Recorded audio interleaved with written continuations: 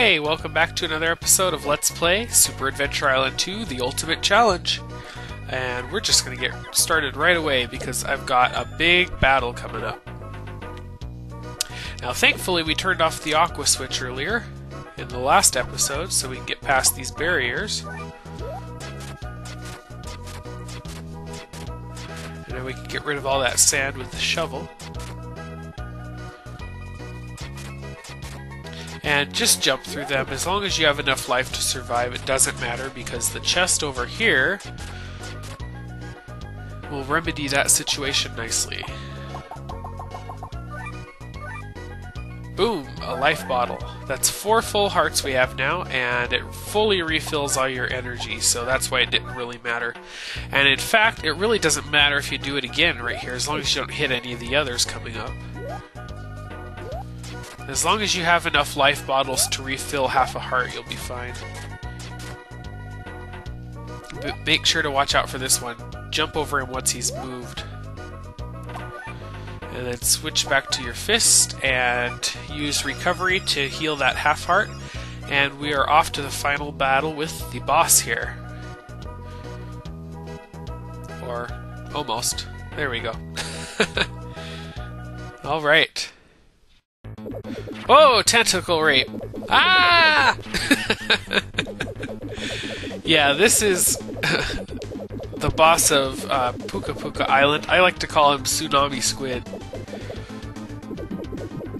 Anyway, he's just a gigantic squid, and as you can see, he's basically got two phases to him. It's pretty easy, um, as long as you're careful and you know a good pattern. Uh, the first phase, as you saw earlier, was the uh, tentacle rape phase, as I call it, where he shoots tentacles up at you. Uh, and you basically either swim out of the way of them or jump over them once they come up underneath you. I choose just to stay in one spot and jump rather than trying to move out of their way because you could end up moving into the way of the next one by accident. And then this is the second phase that he does, where he comes out of the water and he has a single tentacle that's sticking out of the water. And basically, your goal is to hit the tentacle, which will push up his, uh, whatever that is. I guess it's like a shell crown thing. I forget what they call it, the technical term. But anyway, it exposes his uh, vital part of his face, and you can hit that as long as it's up. So you can see it right there, the black kind of area. Anyway, uh, your goal is to hit that as long as it's visible, which is basically one hit. And then just keep repeating the cycle. You can usually get about five to eight hits in, if you're lucky. Uh, and as you can see at the end of the phase, he shoots ink out into the water that turns it darker and darker. But it doesn't really actually hinder sight of his tentacles.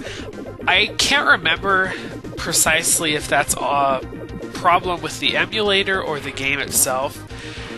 I remember in the original SNES version, I'm playing this on an emulator obviously, but in the original SNES version, I th- think that it was the same. I'm pretty sure that you could still see the tentacles, which kind of made the fight silly. You think that if the ink is going to be used in this level, that would simply obscure them completely eventually. I could understand it getting more and more dark, but throughout this entire battle, you will be able to see them. So, it's kind of silly in my opinion. At least, maybe halfway down, make it pitch black so that we only see them when they're getting close. But, hey, I'm not the game designer. What can I say? I certainly can't complain, at least it gives me reaction time. now, if you look up at my health up in the upper left corner, you notice that I got hit once and it knocked off three quarters of a heart. So that's why you gotta be really careful in this battle not to hit things, especially those little balls that he shoots out. Um, each one of those is to do three quarters of a heart if you're using this uh, challenge as a guide. Otherwise, if you have armor on, especially the aqua armor, uh, you won't take much damage. I think you only take a quarter of a heart or half a heart at most damage with armor on, so it's not as bad. And also, if you're equipping the Thunder Sword when you're fighting this guy, it's a breeze. You can kill him in three phases easily. Uh, now, I should probably mention the reason why I didn't refill all my magic gauges uh, over on the upper right is because you're in water and you can't use magic when you're swimming. So it's basically pointless in this fight to have any sort of magic bottles filled up because, well, you can't use them. You're stuck with whatever health you came in with. Uh, so that's sort of the challenge of this battle. That's why it's harder than the boss of Boa Boa Island, for instance. Because at least on that one, you could heal yourself once or twice. But with this one, no, you're stuck with whatever you have, and each time you lose health, you're stuck with that. So you gotta be really careful.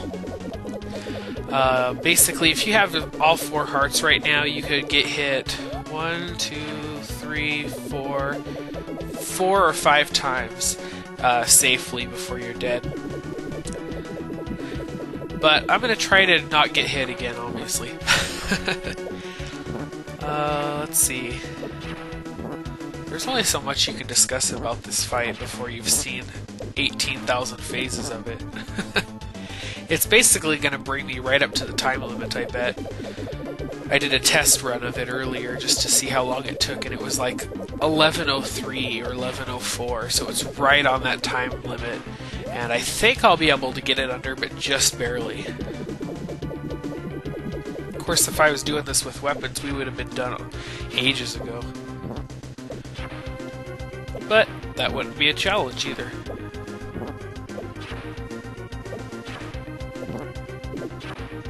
Oh, I tried for four there. Almost got him four times.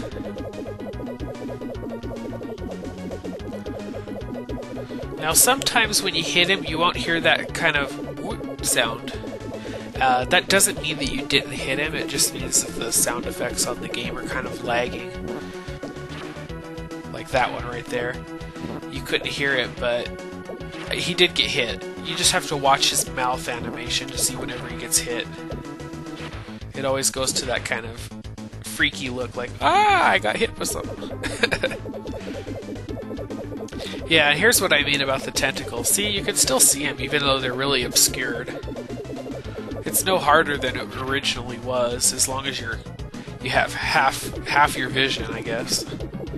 If you're totally half blind, you might miss them.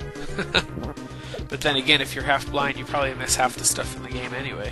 Whoa, man, those those ink balls almost hit me. Or squid balls, or whatever those are. That was close.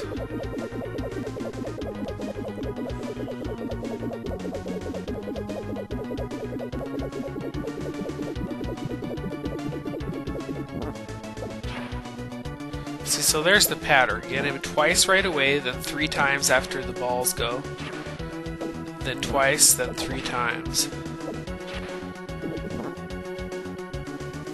So you can get a total of 10 hits if you're lucky.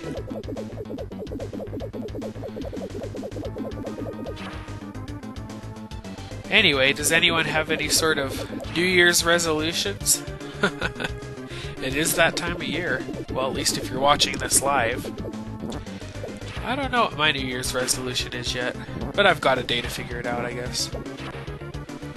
Nobody ever keeps them anyway.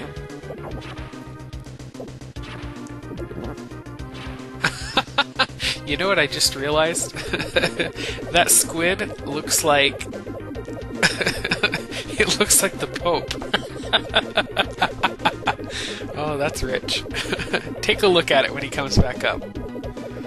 He's got the Pope's sort of pontific hat and he's got the Pope wave, kind of like when the, the Pope is in his Pope mobile and he's waving to the crowd. He kind of just kind of moves his whole arm around, sort of like the Queen of England. It's totally the Pope.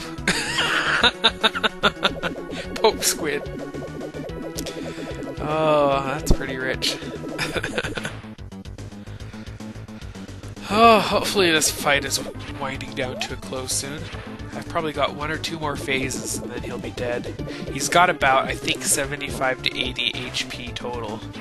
One hit being 1 HP, of course. Now, the Thunder Sword, I think, does like probably 5 damage to him each time. So it's definitely worthwhile to use the Thunder Sword if you're gonna use a weapon here.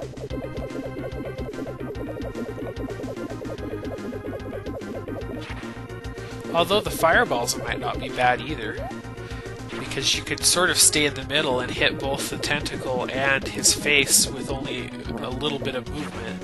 So that might not be a bad idea either. Either. Either.